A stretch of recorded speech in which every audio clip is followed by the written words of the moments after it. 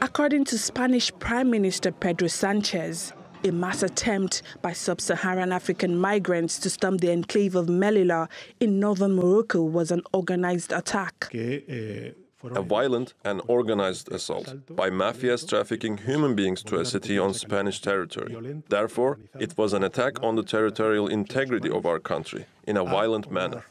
But the Moroccan Association for Human Rights, or AMDH, is questioning why several were killed in the attempt. On Friday, around 2,000 migrants stormed the enclave of Melilla, which is claimed by Spain and is a known gateway to Europe. They clashed with the guards for two hours.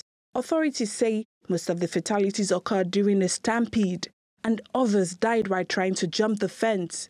But rights groups have long accused Spanish and Moroccan authorities of human rights abuses against migrants in the area. Moroccan officials said security personnel didn't use undue force, but Melilla regional president Eduardo de Castro accused them of a disproportionate response. There are dozens of sub-Saharan, Sudanese and South Sudanese migrants who have been arrested at the police station in Nador and are being prosecuted and they will be brought before the prosecutor I think on Monday morning. So we need lawyers to support them. AMDH says the migrants need help.